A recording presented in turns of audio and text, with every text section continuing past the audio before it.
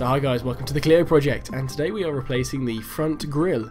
So uh, you're going to need a 13mm socket wrench for this and you're also going to need a flathead screwdriver along with also the RS front grille which you can see there.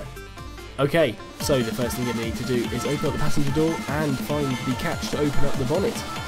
And then once you've found that, you'll be able to easily open it up and support it. Okay, now you can see the front grille, uh, this is the old one, and now we're going to have to get the 13mm socket wrench and take out the first bolt, which by the way is done in pretty tight. And then once you've removed that, you'll need to get the flathead screwdriver and just pop out the this plastic little uh, securing nut.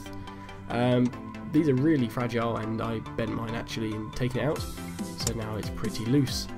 And then once you've managed to get it out, as you can see I'm having a little bit of trouble there, but once you've managed to get it out, you then need to do the same for the opposite side, which I'll now show you as I just get that bit out. There we go, it's finally out. As you can see it took a little bit of work, and then on the other side, I take it out, but it pops out and I lose it. So there we go, once you've done that, you'll need to be careful as you take out the front uh, grill because otherwise you might snap it. Ah, who am I kidding? You're going to have to just force it and smack it a bit. There you go. So keep smacking it and uh, it will eventually come out. Now once it's come out, you'll find it's really easy just to pull it. There you go. And it's out. And there you can see my radiator. Lovely. Okay, so now we've got the new RS grill. And uh, let's get it in. Well, first off, let's just line it up. Once you've lined it up, you then need to just slot it into place. By doing this, you'll have to pull the grill towards you while pushing the bumper into it. Don't be afraid as well, just to give it a little bit of a knock.